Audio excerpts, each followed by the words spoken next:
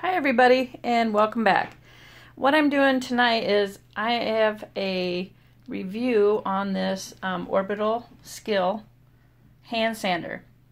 Now I'm not really familiar with, I, I mean I know how to use belt sanders and everything, but let me tell you, um, orbital sanders are not all made the same.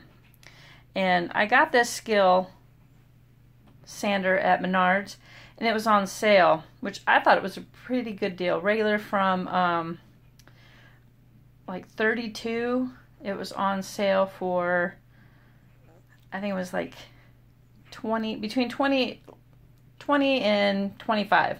Anyway, so this Skil sander has a lot of different features. And let me tell you, I've used them all. So on the, um, here's what the sander itself. On the sander right here, it has this pressure control for when you have to um, press down pretty hard. Say you have four coats of paint on a board, you're going to want to use this. And this feature, I'm telling you, I had a divot on a board and it works. And the light, regular sanding, it stays green. The heavier you push, the yellow and the red light will light up. And it keeps at a uh, a very constant. Um, doesn't lag, is what I want to say. So it does not lag at all. And in this set, you get three, um, three sand, three discs. I want to say you get a 120, an 80, and I'm not sure what the other one is, like a 90 or something.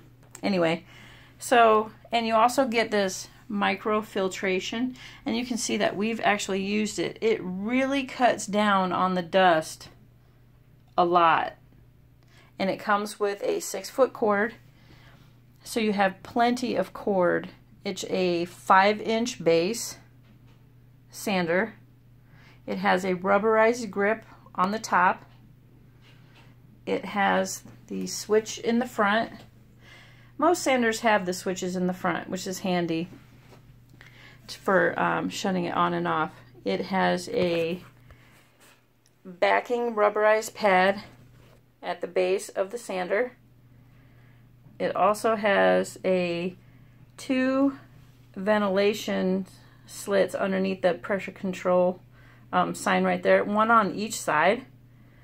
And also has um, the cord is very heavy duty. See the end of it? It has that extra rubber.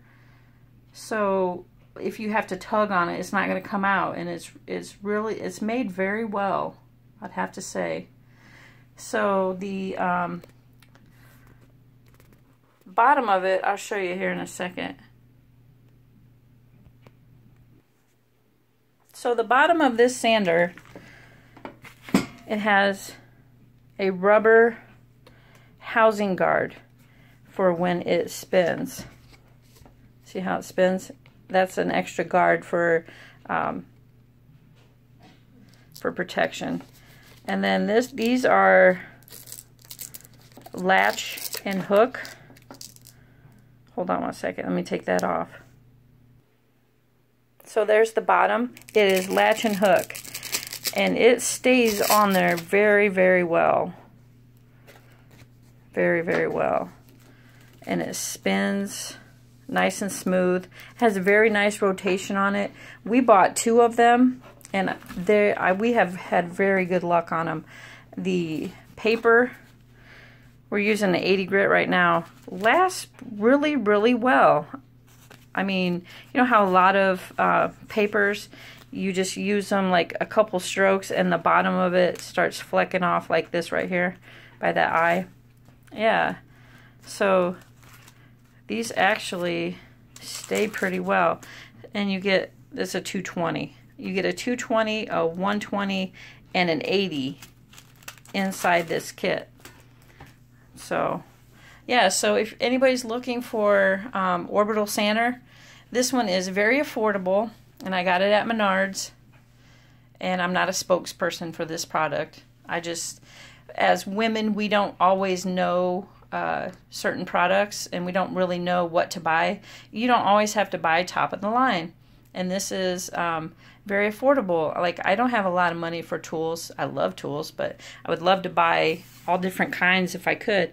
But here's an, an alternative for a nice um, hand sander, and it fits really well in your in your hand too. See how? Now I have fairly big hands, so this one, I mean, you can hit the switch while you're holding it all in one. And it's it's fairly it's fairly light. I mean, it's an orbital sander, so I mean, it's kind it's got a little bit of weight to it, but my hand did not get tired when I had to sand the boards for the floor. So, just want to give you guys some information out there. And here's another look at the filtration. It's got a filter in it. It works really, really well. You can see we've already dumped it a couple times. So, yep, there you go, guys. Thank you very much for watching. Oh, like and subscribe. See you later.